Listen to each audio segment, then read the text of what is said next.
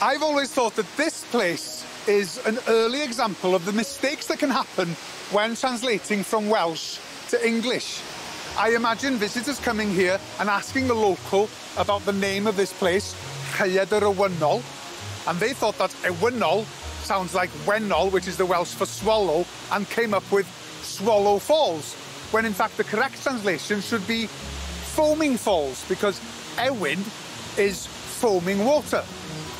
But in fact, it seems I'm wrong, because in 1773, there's a record of these falls being called Rhaeadr y Wennol, because the water forks or splits as it cascades down the rocks and looks like a swallow's tail.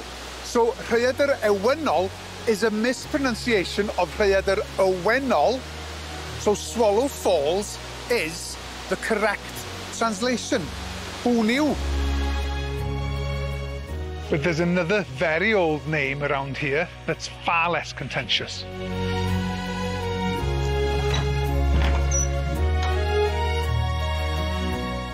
This special gravestone is called Cantiorix stone. The stone dates back to the period soon after the Romans left the British Isles. The inscription reads, Here lies Cantiori, citizen of Venedotis and cousin of Maglus the magistrate. But it's this word, Venedotis, that's important to us because it's a very early form of the name Gwynedd.